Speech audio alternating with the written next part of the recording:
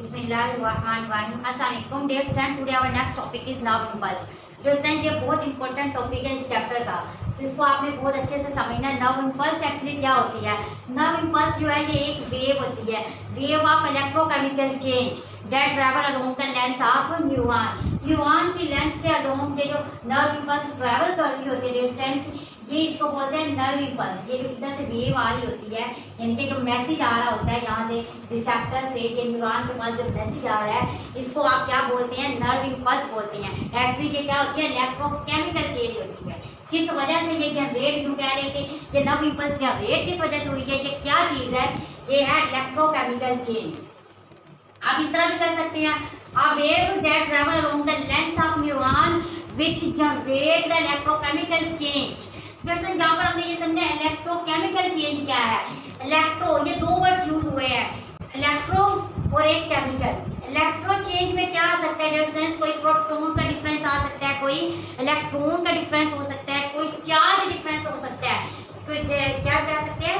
Charges difference आ सकता है। तो इस वजह से जो वेव आ रही होती है, उसको बोलेंगे नव इम्पल्स और जहाँ फिर किस वजह से हो सकते हैं? केमिकल चेंज केमिकल चेंज की डेट से बात करें तो इसमें इन्वॉल्व होते हैं acid and protein I hope आपको डेफिनेशन की समझ आ गई होगी कि a wave of electrochemical change electrochemical change में इलेक्ट्रो में अभी मैंने बताया इलेक्ट्रॉन या प्रोटोन के अंदर चेंज आ सकता है, इनके अमाउंट्स में चेंज आ सकता है, या इसके अलावा पॉजिटिव नेगेटिव चेंज आ सकता है। चार्जेस का डिफरेंस आ सकता है। कि एक तरफ़ पॉजिटिव चार्ज है और एक तरफ़ नेगेटिव जैसे ये जो डिफरेंस क्रिएट हो गया, एक तरफ़ पॉजिटिव और एक तरफ़ नेगेटिव इसको बोलते हैं पोटेंशियल क्या बोलती है? पोटेंशियल पोटेंशियल क्या होता है? Ability to do work work करने की सलाहियत जो होती है, वो पोटेंशियल कहलाता है। ये इलेक्ट्रॉन के डिफरेंस की वजह से है या चार्जेस डिफरेंस की वजह से है। कि एक तरफ़ पॉजिटिव है और एक तरफ़ नेगेटिव है। तो वो पोटेंशियल जो चार्जेस डिफरेंस की वजह से होगा, उसको बोलेंगे इलेक्ट्रोपोटेंशियल तो डेयर सेंस आई होप आपको डेफिनेशन की समझ आ गई है। तो नेक्स्ट जो हमारा आज इसका फ़र्स्ट पार्ट है नव इम्पल्स का, जो हमने डिस्कस करना है, इंशाल्लाह वो है resting membrane potential resting membrane potential की बात करें डियर स्टूडेंट्स तो यहाँ पर होता क्या है कि इसमें outside of the neuron neuron के आउटसाइड मतलब इसकी मेम्ब्रेन के आउटसाइड होगा। न्यूरॉन की जो मेम्ब्रेन होती है, उसको बोलते हैं न्यूरोलिमा ये आपके पास न्यूरॉन की मेम्ब्रेन है, जिसको हम क्या बोलेंगे? न्यूरोलिमा तो सर यहाँ पर क्या है कि इसके ये जो आउटसाइड है, बाहर वाली साइड है, यहाँ पर पॉजिटिव चार्ज ज़्यादा होता है। तब जब न्यूरॉन किस कंडीशन में होता है? रेस्टिंग की कंडीशन में होता है। यानी कि इसके अंदर कोई मैसेज नहीं आ रहा, कोई भी नर्व इम्पल्स नहीं आ रही। कोई बाहर, जब तक बाहर स्टिमुलस नहीं आएगा तो नर्व इम्पल्स भी तो जनरेट नहीं होगी। जैसे स्टिमुलस आता है तो स्टूडेंट्स वहाँ पर क्या होगा कि नर्व इम्पल्स जनरेट हो जाएगी मैसेज आएगा। वो जो मैसेज है, जो नर्व इम्पल्स है अगर वो नहीं आ रही कोई भी इन्वायरमेंट में चेंज नहीं आया डियर स्टूडेंट्स तो इट्स मीन जो न्यूरॉन है, वो क्या है? रेस्ट की कंडीशन में है। जब वो रेस्ट की कंडीशन में है पेशेंस होगा क्या?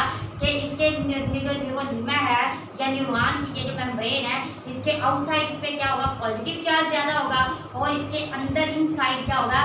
नेगेटिव चार्जेस होंगे। तो आप इसकी क्या डेफिनेशन करेंगे? रेस्टिंग मेम्ब्रेन पोटेंशियल की।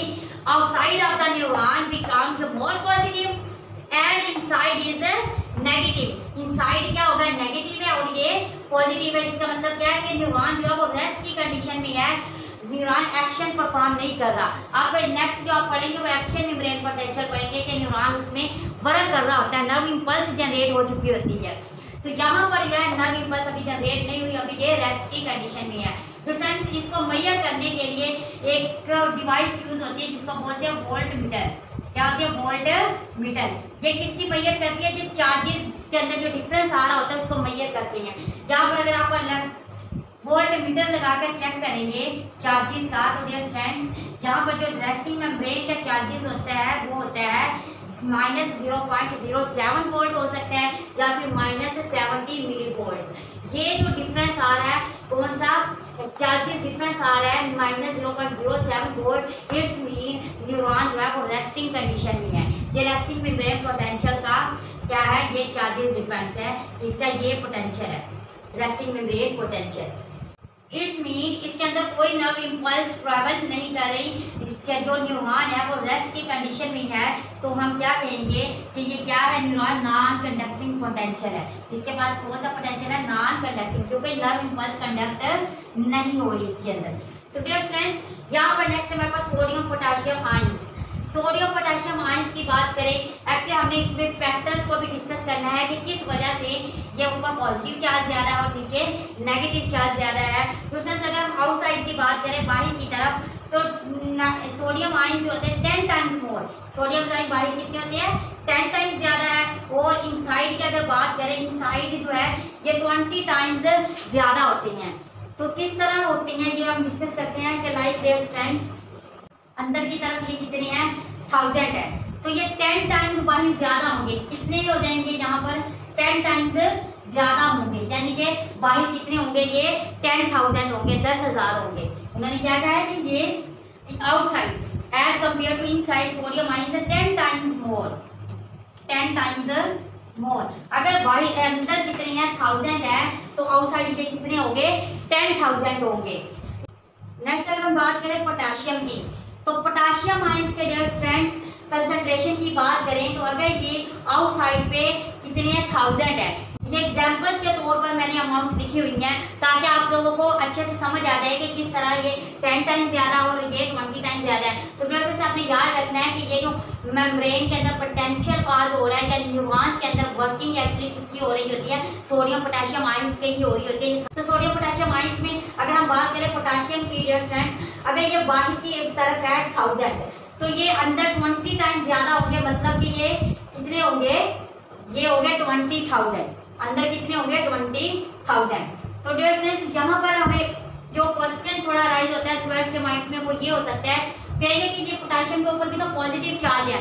इसमें यहाँ पर सोडियम आइंस तो कम है पोटेशियम आइंस अंदर ज़्यादा है। जब अंदर ज़्यादा, अंदर पॉजिटिव चार्ज ज़्यादा होगा। और अगर बाहर की तरफ़ देखें तो बाहर पॉजिटिव चार्ज कम लग रहा है। कैसे कम लग रहा है? कि ये अगर ट्वेंटी थाउज़ेंड और ये आपके पास है वन थाउज़ेंड ये बन गया ट्वेंटी वन थाउज़ेंड और ये टेन थाउज़ेंड और ये वन थाउज़ेंड ये बन गया इलेवन थाउज़ेंड इलेवन थाउज़ेंड और ये ट्वेंटी वन थाउज़ेंड है। इसमें यहाँ पर पॉजिटिव चार्ज ज़्यादा है? यहाँ पर कम है। लेकिन इसमें ऐसा नहीं है। ये आपको समझाती हूँ कि किस तरह से बाहर पॉजिटिव चार्ज ज़्यादा आ जाता है। इसमें कुछ फैक्टर्स इन्वॉल्व होते हैं ये वाले।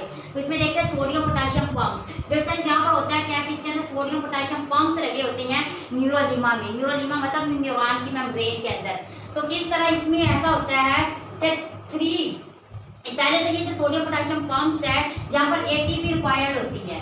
क्या होती है? एटीपी रिक्वायर्ड ये मेम्ब्रेन है मेम्ब्रेन के अंदर ये मैंने सोडियम पोटेशियम पम्प्स लगाए हुए हैं। ये इंटरप्रेशंस होगा क्या? जब ये एटीपी यूटिलाइज करेंगे। एटीपी को यूटिलाइज करते हुए क्या होगा कि ये अंदर की तरफ़ है, ये वाले। ये अंदर से ये थ्री अंदर से ये बाहर कितने जाएँगे? थ्री आइंस आएँगे। थ्री सोडियम आइंस आउटसाइड यानी कि अगेंस्ट कंसंट्रेशन ग्रेडियंट मूव कर रही हैं कैसे अगेंस्ट कंसंट्रेशन मूवमेंट कर रही हैं, क्योंकि ये स्ट्रेंथ बाहर ऑलरेडी ज़्यादा है। जबकि बाहर ऑलरेडी ज़्यादा है, और फिर ये देखें, ये कम से ज़्यादा की तरफ़ ही जा रहा है। हालाँकि कानून क्या होता है, कुदरत का, कि ये ज़्यादा कोई चीज़ होती है, वो ज़्यादा से कम की तरफ़ जाती है। कहा से? मोर से लेस की तरफ़। लेकिन यहाँ पर क्या हो रहा है, कि चीज़ क्या लेस है ऑलरेडी लेकिन फिर भी वो मोर की तरफ़ जा रही है। तो ज़ाहिर है यहाँ पर जाने में एनर्जी यूज़ होगी। इसलिए एटीपी यहाँ पर यूटिलाइज हो रही है। यहाँ पर होगा क्या कि ये आइंस क्या करेंगे? थ्री सोडियम आइंस बाहर जाएँगे और टू पोटाशियम आइंस इनसाइड अंदर जाएँगे अगेंस्ट द कंसंट्रेशन ग्रेडियंट्स ये भी अगेंस्ट द कंसंट्रेशन ग्रेडियंट्स है। कैसे? देखिए अंदर की तरफ़ 2000 है। ट्वेंटी थाउज़ेंड है। मतलब ज़्यादा है। और बाहर कम है। तो ये देखिए, कम से ऑलरेडी यहाँ पर ज़्यादा है। कम से ये फिर ज़्यादा की तरफ़ आ रहा है तो इनको अंदर की तरफ़ पुश करने के लिए ए टी एटीपी रिक्वायर्ड है। एटीपी यहाँ पर ये यूटिलाइज करते हुए क्या करेंगे? टू टू पोटाशियम आइंस अंदर जाएँगे। यहाँ पर क्या आपको एक डिफरेंस आ गया कि थ्री पोटाश सोडियम आइंस क्या करेंगे? थ्री निकलेंगे आउटसाइड की तरफ़ मूव करेंगे और पोटाशियम आइंस टू करेंगे। डिफरेंस यहाँ पर कैसे होगा? लाइक like इसको समझने के लिए एक छोटी सी एग्जांपल मैं आपको देती हूँ। अब आपके पास ना सिक्के है। आपके पास भी थाउज़ेंड है और मेरे पास भी थाउज़ेंड है। लेकिन वो सिक्के है। पाँच पाँच के सिक्के कह रहे अब वो यहाँ पर क्या होगा? मैं आपको कहती हूँ कि आप मेरे साथ एक्सचेंज करें। कैसे एक्सचेंज करें? सिक्के सेम बराबर है, वही वही। मैं आपको टू दूँगी और आपने मुझे थ्री देना है। आप थ्री सिक्के मुझे लेते जा रहे हैं, खुद कितने टू पॉइंट्स लेते जा रही हैं। तो सेंस ये होगा क्या कि एक टाइम ऐसा आएगा कि आपके पास वो कॉइन्स खत्म हो जाएँगे वो सारे के सारे मेरे पास आ चुके होंगे। क्यों? क्योंकि मैं आपको दो दे रही हूँ। आप मुझे तीन दे रहे हो बदले में। तो एक टाइम ऐसा आएगा कि वो सारे के सारे मैं आपसे ले लूँगी। इट्स मीन कि एक टाइम ऐसा आएगा कि सारे के सारे बाहर आ जाएँगे और ऊपर क्या हो जाएगा? मैक्सिमम ज़्यादा से ज़्यादा पॉजिटिव चार्ज हो जाएगा। ऊपर बाउ साइड ज़्यादा पॉजिटिव चार्ज हो जाएगा और अंदर की चार्ज होगा। तो डेढ़ से एक तो ये फैक्टर है, ऊपर वाला जो है मोर पॉजिटिव होने में आउटसाइड जो है। नेक्स्ट एक अंदर, इसके अंदर अदर फैक्टर इन्वॉल्व होता है वो है negative organic ions negative organic ions कौन से होते हैं स्टैंड्स जो negatively charge acids and proteins होते हैं। क्या होते हैं एसिड्स एंड प्रोटीन्स ये बात समटाइम ऐसा होता है कि जो एसिड एंड प्रोटीन जो है, वो यहाँ पर अकामुलेट्स होना स्टार्ट हो जाते हैं। क्या होना स्टार्ट हो जाते हैं?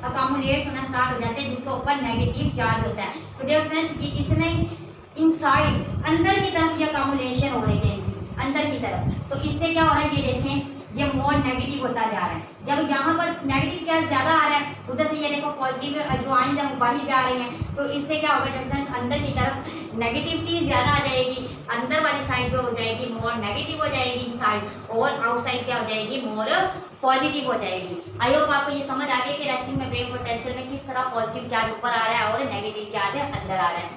नेक्स्ट हमारे पास लीकेज ऑफ़ पोटाशियम आइंस मतलब ये थर्ड फैक्टर है, एक हमने फैक्टर क्या देखा? सोडियम पोटाशियम पंप्स थे।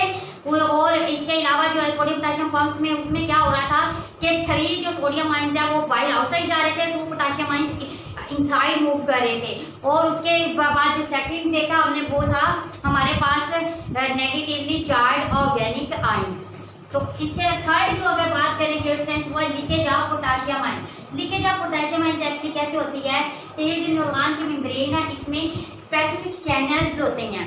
तो एक बात और भी होती है, जो जो मेम्ब्रेन होती है डियर स्टैंड जितने भी आइंस होते हैं हमारी बॉडी में, उसके लिए जो मेम्ब्रेन होती है, ये सिलेक्टिवली परमिएबल होती है। मतलब कुछ को ये गुजरने देती है, कुछ को नहीं गुजरने देती। लेकिन अगर हम बात करें पोटाशियम की तो ये इसको इजीली गुजरने देती है। इसको परमिशन होती है। इसके लिए ये क्या होती है? परमिएबल होती है। तो डेट यहाँ पर होता है क्या कि इनसाइड पोटाशियम जो आइंस है इनसाइड पोटाशियम आइंस की कंसेंट्रेशन ज़्यादा है।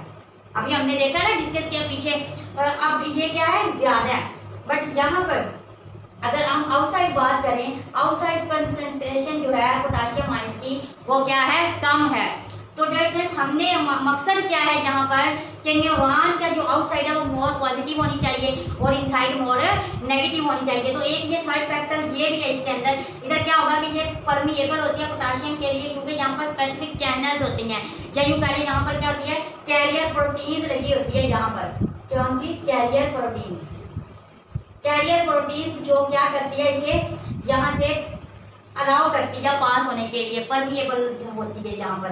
तो डेट सेल्स यहाँ पे ये जो पोटेशियम आइंस होंगे, ये यहाँ से पास आउट हो जाएँगे बाहर की तरफ़। तो देखिए, बाहर पॉजिटिव चार्ज ज़्यादा ज़्यादा होता जा रहा है। मतलब यहाँ पर बाहर पॉजिटिव चार्ज ज़्यादा हो जाएगा इस तरह से इधर कर लेती और अंदर क्या होता जा रहा है? नेगेटिव चार्जेस ज़्यादा होता जा रहा है।